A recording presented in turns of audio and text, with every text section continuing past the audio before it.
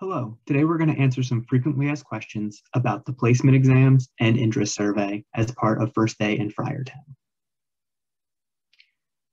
All students must complete an interest survey and math placement exam. Language placement must be taken for any student that is previously taking a language. If you studied a language where there is no placement exam, you will have an opportunity to speak with our foreign language department regarding options to continue studying that language while at PC. Please note, we ask students to complete their placement exam and interest survey no later than May 31st. Many students ask, how do we use this placement and interest survey information? The results of your interest survey, math placement, and language placement will be used to build your first semester schedule. Depending on the requirements for your major, some of this information might be used in your first semester, while other portions might be used to build your schedule in a future semester.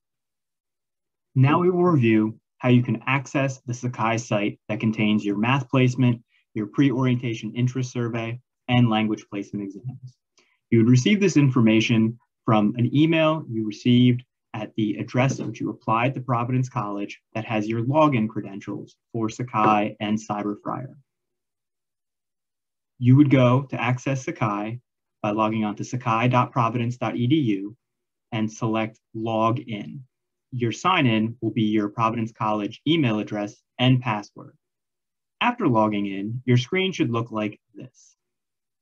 You will see in the top right hand corner there is a waffle, and that waffle is where you will land in your home site. The top of the screen is where you can switch between sites using this waffle. You'll also see announcements will appear in this area underneath announcements. Once you select the waffle, you could see all of the placement sites, which will have your language placement, your interest survey placement, as well as your math placement. Once you're in here, you will see a note about some information regarding the placement exam or the interest survey. You should try to complete each subject in one sitting. If you get interrupted, you could pick up where you left off as long as it's within the day you started the test. If you need to retake a test, you can, but the tests are intended to be an accurate reflection of your skills. You do not need to get the highest score possible.